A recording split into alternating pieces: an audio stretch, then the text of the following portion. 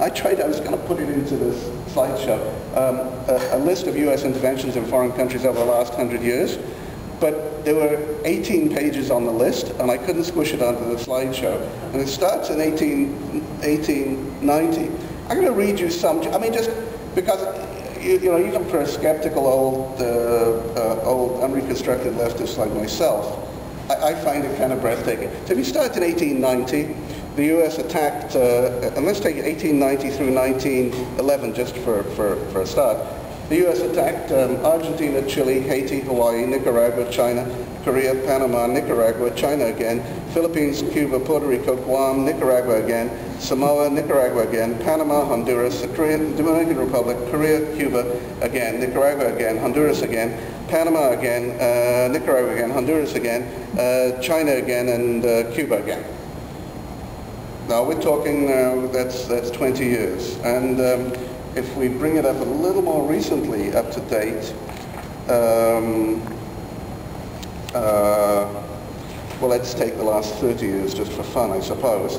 Uh, we've got Vietnam. there's Guatemala, by the way, 1966-67. Uh, Cambodia, Oman, Laos, um, Chile, Cambodia again, Angola, uh, U the U.S. Uh, gave military assistance to South African uh, rebels.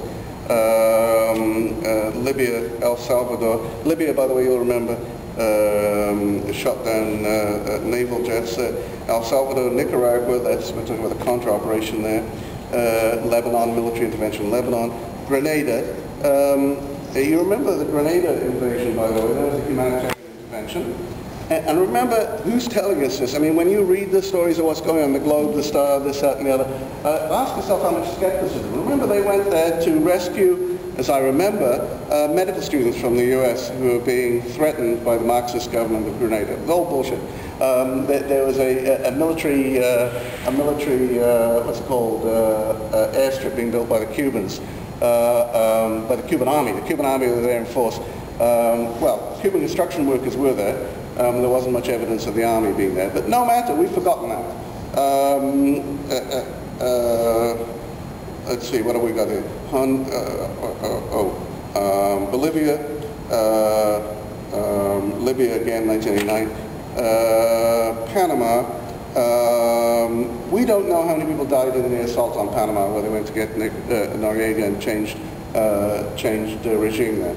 Um, and we don't know that, and we all know that uh, now that uh, Noriega is in jail, the drug trade is finished. Uh, and also now that we've invaded Afghanistan, the drug trade there is finished. Um, you know the opposite, by the way. There's much more good quality heroin and hashish on the streets of Toronto than there used to be. And we can thank, uh, we can thank, uh, you know, support our troops, I suppose, is a, is a phrase, uh, if I'm being cynical. Um, Liberia, um, Iraq, Kuwait, Somalia. Well, Kuwait, let's try that. I mean, uh, uh, and look, this is all an exercise in just memory. We need memory. We really need it really badly. Saddam Hussein invaded Kuwait. Nobody had much of an appetite for attacking uh, Iraq until we got this poor woman wearing a chador who came on television and told us that when the Iraqi troops, those brutal bastards, invaded Kuwait City, they took over a hospital and threw premature babies out of incubators. A pretty horrible, eh? and it kind of works you up, right? Except it was a lie. Except the woman was uh, put up there by Hill and Knowlton, an advertising agency, uh, to do all that because uh, the American people needed to be uh, worked up. And, and look, you know, I'm, I'm, not disparaging the American people. I mean, I'm glad that they need to be worked up for this. I'm glad people have humanitarian impulses. And it's not simply a question of saying we need to grab the oil in the Middle East oh, we need to stop the Chinese from getting the oil in, in Darfur. Right? Obviously that doesn't wash, and you've got to say to your own population, no, we're going in there for good reasons. We're the good guys. We're the uh, 7th Cavalry. We're, the guys in the white hats. We're going gonna help. Um, uh, Gulf of Tonkin. Everyone remembers that the Lyndon Johnson ordered the bombing of North Vietnam because of the um, uh, attack by North Vietnamese forces on a U.S. Ship in the Gulf of Tonkin. Never happened. Never happened. And the Americans say, remember the Maine. That was the, uh, the cause of the Spanish-American War, uh, where the battleship Maine was uh, attacked by the Spanish. That didn't happen either, by the way. So we really should remember the Maine, and we really should remember the Gulf of Tonkin, and the invasion of Grenada, and the invasion of Panama, and so on. Uh, the difficulty is that as soon as the dust was settled, everyone said, well, we were, we were driven into war in Iraq by a series of lies, weapons of mass destruction and, uh, and this, that, and the other thing. I mean, I, I remember the night Colin Powell gave his famous speech to the UN with showing, you know, satellite photographs of trucks and all this kind of crap. Uh, I was on a show which is now gone called Counterspin, and I was debating against the head of the Canadian Jewish Congress who has an interest for some obscure reason in attacking Iraq and so on. And uh, I made a bit of a joke. I, mean, I said, I said, well, you know that there are no weapons of mass destruction in Iraq because uh, the, the proof of that was that the Americans were preparing to attack it, you know. So like a joke because they only attack weaker people, that's the, that was the joke of it, you know. So I got attacked in the Canadian Jewish News later that week as being a marble-headed leftist, and they gave the joke but without the punchline. I said there was proof there was no weapons of mass destruction, but then they don't give the pun- didn't give the punchline. And the guy who wrote the article has never apologized to me, although I know him. Anyway, so well, what I'm trying to say is, here we have this massive list of U.S. interventions. I mean, I mean, you can't count them almost. And as I say, 18 pages of them that I pulled off the internet. we turn around to them and say, please, Mr. Bush, Mr. Obama, American Marines, you got to help out. We trust you. You're the armed forces there to do, to do the world good, you know. And, and who's saying this? It's Human Rights Watch saying this. It's Amnesty International saying this. Amnesty, by the way, bought the baby's incubator stories of Blind Sinker and repeated them. I'm not saying Amnesty doesn't do good things, they do. But, but um, uh, I read a good book by an Italian anarchist, actually, who says that the NGOs and the humanitarian organizations are the world's new missionaries. The missionaries, as you remember, used to go into Latin America and uh, convert the natives and so on, and then and then they would come back. When I was a kid, I always remember stories in the British papers about nuns being raped in the Congo. Well, you know, the day after nuns are raped in the Congo, the, the, the British Marines are in there, right? Because you know we're going to protect the nuns in the Congo, who may or may not have been raped. I don't know, but uh, um, um, there we are. So let me move on. Uh, Warren Harding, this is when he was Senator Warren Harding, Harding before he came he said, we unsheathed the sword in the name of humanity. We gave proof to the world at that time of an unselfish nation. And, and that's what's critical about all this. Not only, not only do we ask for the Americans to send the troops in, but we say it's a sign of your unselfishness. You're no longer protectionist. You're no longer, uh, I don't know if protectionist is right, uh, uh, uh, American exceptionalist. You're not, you're not sticking within your own frontiers. It's, it's your duty to the world. So the responsibility to protect is a humanitarian impulse. Just like it's, we're so unselfish to bring democracy to Iraq, to bring stability and peace to Afghanistan. I mean, who, who could gainsay those motives? They're just superbly wonderful motives. And, and sorry if we bomb a, bomb a wedding party full of uh, civilians, they shouldn't have been in Afghanistan at the time. It's their fault, you know. I mean, they should know it's uh, dangerous. And here's our next uh, Prime Minister, um, the 21st century imperium. It's only him, he would use a word like imperium, you know. I mean, the, the, anyway, it's a new invention in the annals of political science. Isn't that fabulous? It's just fabulous, you know. Um, an empire like a global hegemony, these grace notes, uh, free markets, human rights and democracy, enforced by the most awesome power the world has ever seen. Uh, Guantanamo, Bagram, uh, Iraq, Afghanistan, uh, a invasion. I mean, did, did, does Michael Ignatieff actually think that when the Romans tramped all the way to my native Wales on the one end of the world, they actually went a bit further, uh, and the Middle East on the other, they were saying to everyone, let's do this because we're really nasty bastards? Or we're bringing the benefits of Roman civilization with us? I mean, one of the benefits of Roman civilization, by the way, was that anybody could become a Roman. Didn't matter the color of your skin or your religion. You could also become enslaved. You could also become a Roman. I mean, at the time that the Romans were attacking the Jewish uh, uprising in, uh, in uh, Palestine, one of the generals was Jewish, Josephus. And he was a full Roman citizen. But, uh, so uh, I'm not sure that the 20th, uh, 21st century imperium is quite as liberal as the Roman Empire. But anyway, not on that point anyway. And here's a, couple of other um, great humanitarians. National sovereignty is an obligation as well as an entitlement, and government will not perform the role of government forfeits the rights of a government. So here we are, we're back to failed states and, uh, and deserving and undeserving nations. Uh, there used to be deserving poor and undeserving poor in, in, um, in Charles Dickens' times. And so there we go. Uh, let, us guess the government stated from and Richard Perle forfeited those rights. Would it be the Americans by breaking international law and attacking Iraq and Yugoslavia and Panama and Grenada and Vietnam and uh, et cetera, et cetera?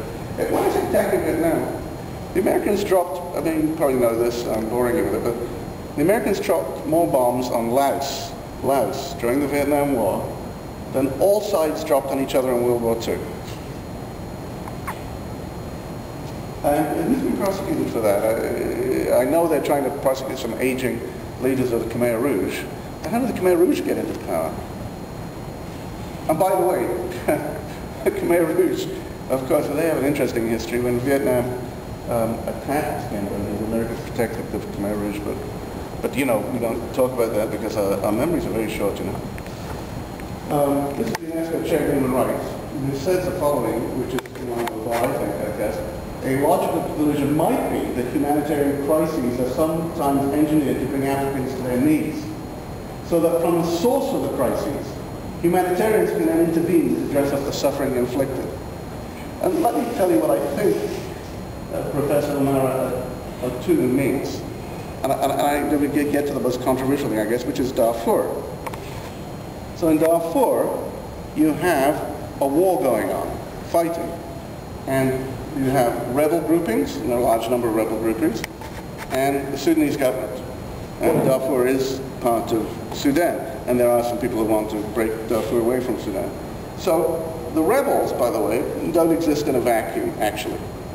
They actually don't exist in a vacuum. They're supported by Chad, lo nearby country, which is, which some of them are supported by Chad, and some of them are supported with arms, money, and um, and uh, advice by the United States and Israel. So, when the uh, crisis happens, and there's this nasty fighting going on there, and the, the, the uh, fighting is fueled in part by foreign intervention, which is happening, right, which is the foreigners supporting the, the, the, uh, the rebel troops. Human Rights Watch and George Clooney, and uh, I, I to, you know, I'm just disappointed with George Clooney because I enjoy him so much as an actor, you know, but he, he, just stands up and makes a fool of himself over Darfur. But they, to say, well, we've got to intervene to stop the mess. I want to say to, to Mr. Clooney two things. One thing, we're involved in the mess, actually. Actually, we have been intervening. That's number one. Number two, when the rebel forces understand that their irons are going to be uh, uh, pulled out of the fire by the 6th Cavalry. I said 7th Cavalry, but it's the 6th Cavalry. By the 6th Cavalry. What's their interest in peace at that point in time? And you can tell the proof of the pudding is there. They're not coming to the, to the table. And our great humanitarians, the Human Rights Watch, Stephen Lewis, etc., etc., who talk about such things. I'm not sure Stephen Lewis said anything about Darfur, but he's talking about Zimbabwe. They don't sit down and talk about international peace conferences, diplomatic pressure. Let's get people together. They talk about sending the goddamn troops. And I tell you something, the JEM movement thinks when they send in the troops, they'll get to power. So what the hell do they need to put their arms down for? No one's telling them to put down their arms, certainly not Human Rights Watch. They're not telling them to put down their arms. So the US then supports a group which is creating chaos there and I, I don't know enough about it to see who's worse, the JEM or the Sudanese government, or who's doing which or what. I, I don't know enough about it. I'm not on the ground. I do know that the Chinese have oil uh, uh, concessions in, in Darfur. I do know that that's probably upsetting to the United States, but I'm not a conspiracy theorist. Um, but it seems to be obvious that the call for humanitarian intervention, for responsibility to protect, for us to go in there and stop the genocide. By the way, by the way, the European Union said it wasn't genocide. The Americans are saying it is genocide going. But the call to go in there and stop the genocide is creating more suffering because the parties are not going to stop warring Well, the prospect of foreign troops uh, looms on the horizon. And I want to take the other thing, the poster boy for humanitarian intervention, and this is uh, something which I know something about. I've appeared as defense counsel for a long time for the International Criminal Tribunal for Rwanda. The story is about uh, the American government, because of uh, uh, racism, indifference, and exhaustion after Somalia, didn't intervene in Rwanda to stop the killings in, in, in 1994. The problem with that is the facts. And the facts are the following. That at a time when the U.S. was twisting arms around the world for intervention, and foreign intervention and troops in Yugoslavia and so on, they were similarly twisting arms at the UN Security Council for no intervention in Rwanda. And it wasn't a question at that time about American troops intervening in Rwanda. Madeleine Albright says that she worked tirelessly to prevent any country from intervening in Rwanda. The U.S. didn't have to expend one soldier in 1994. And here's another fact which is stubborn and people don't talk about. The government, which was overthrown in 1994, the Rwandan government, which is now accused of being the architect of the genocide, asked after the, uh, after the presidential plane was shot down April 6, 1994, went to the UN and said, please send in foreign troops to stop the killings. At the same time, the Rwandan Patriotic Front, now the government of Rwanda, heavily supported by the United States, still heavily supported by the United States, said to foreigners in Rwanda, and this is by about April 10, we will not guarantee your safety. We will shoot on any blue helmets who come in. Now, what do we take from all that? Those are facts. They're incontroverted. They're not, not, nobody, nobody disputes, I think, those are facts. But what do you take from those facts? Was it racism that caused the uh, uh Americans not to intervene? Let me you one other fact. The Rwanda Patriotic Front and the Ugandan government invaded Rwanda in 1990. At that time, the Rwandan army, the army which was accused of committing the genocide, was 5,000 strong. Only 5,000 strong. Because the Rwandan government had a treaty with France and a treaty with Belgium. And Belgium and France said, you don't need to have a big army. If you're ever attacked, we'll come and help you. We'll send our soldiers. You don't need a big army. Have a small army. So they had a small army, 5,000 people. And when they were attacked by Uganda and the Rwandan Patriotic Front in, uh, in 1990, who vastly outnumbered the 5,000 people, by the way, France and Belgium sat on their hands. And they sat on their hands all the way through to, to uh, late in 1994. France sent in something of a force in July of 1994 called Operation Turquoise. It did have some effect in, uh, in, in, stopping some of the killings that, uh, um, that were going on there. The Rwandan army, by the way, now is 50,000 strong. 50,000, 10 times the size of the army, uh, uh, army before. And now, that Rwandan army is on, uh, invaded uh, Congo twice, overthrowing its government once, and is now uh, heavily backing Laurent Nkunda, who is the uh, uh, so-called rebel there, although Laurent Nkunda, to my understanding, was a member of the Rwandan Patriotic Front, now leading his own army. I don't believe that the Rwandan government has um, ever charged him with desertion or anything like that. So the Rwanda story, I think, at the end of the day, is that the U.S. had a horse in that race. And the horse was the Rwanda Patriotic Front.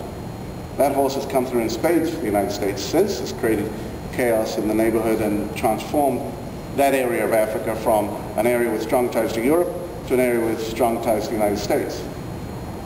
The US had a horse in that race. It was not going to intervene and didn't want anyone else to intervene militarily because it wanted its horse to win the race. And its horse, the Rwandan Patriotic Front, was really clear that they didn't want any foreign intervention. The hapless party that wanted the foreign intervention, that wanted assistance, was the existing government, which is now overthrown and gone. So you can understand Professor Olara Otunnu, who's saying that foreigners have been interfering in our affairs lighting fires, and then they say, look at that fire. We better come and put it out.